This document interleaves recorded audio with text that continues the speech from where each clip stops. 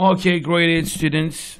Uh, this is last video for today, mean median mode.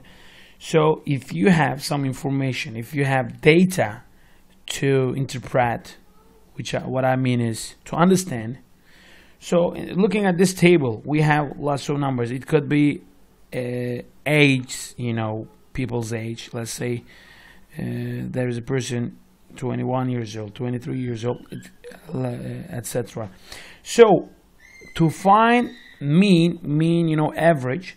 So I'm going to put those numbers in its ascending order.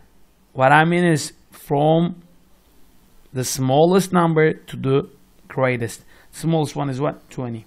Next one, 21. Let's write using different color. 21, 21.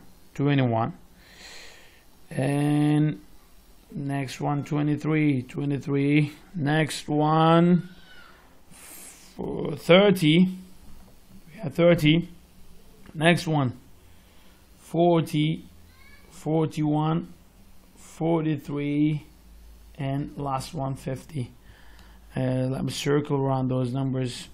Uh, so you'll see clearly so three, four, five, six, seven, eight, nine, ten, eleven numbers. To find its median, we are going to look at directly in the middle. So uh, look at those numbers. Five numbers will be on the left. Five numbers will be on the right. So in the middle, the middle number is the middle number is 23 is the median. 23 is the median of the set. Median. Yes. What, what is mode?